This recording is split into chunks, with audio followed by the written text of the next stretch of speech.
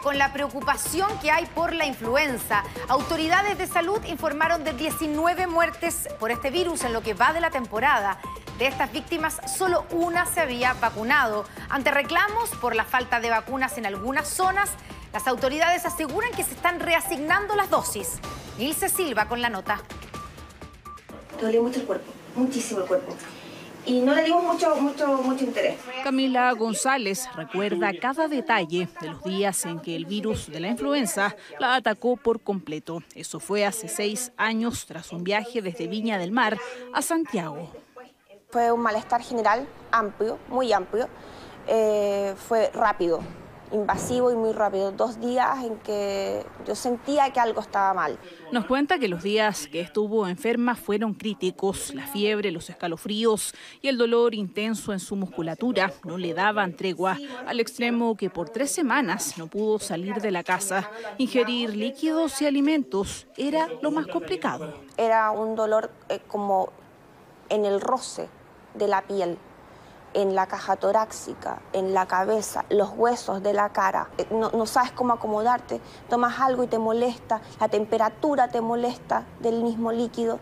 Síntomas que durante la campaña de vacunación 2019 se han repetido día tras día. Sin embargo, no ha sido suficiente para motivar a la población. Hasta ahora han muerto 19 personas y hay un número creciente de hospitalizados graves, entre ellos un lactante de nueve meses. Hay comunas que están más atrás y comunas que están más adelante. La historia epidemiológica que hemos llevado hasta ahora nos están indicando de que la máxima circulación viral debería ser dentro de las próximas dos semanas. Dentro del grupo de riesgo están los adultos mayores, niños que hayan cumplido seis meses de vida y hasta los cinco años, mujeres embarazadas y enfermos crónicos. Y es ahí donde está puesta la preocupación de las autoridades.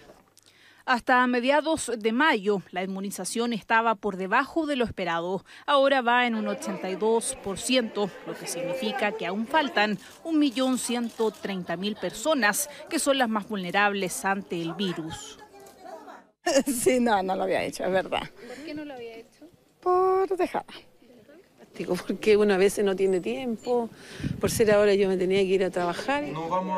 Al desconocimiento de los pacientes se suma la errónea percepción de un menor riesgo. La mayor demanda por vacunarse por lo general se produce asociada a un hito, como ocurrió hace algunos años con la fiebre porcina y la fiebre amarilla recientemente.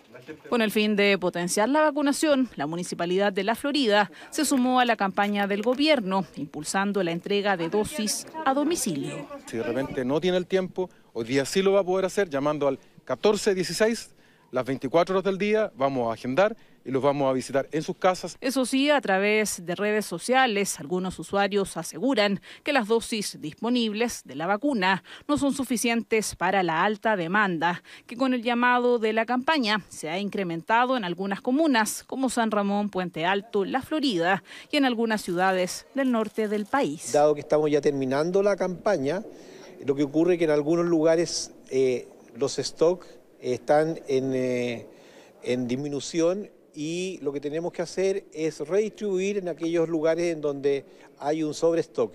El plan del gobierno es llegar al 85% de vacunación en lo que queda de mes. Esa inmunidad será garantía para el bienestar de quienes no reciban la dosis.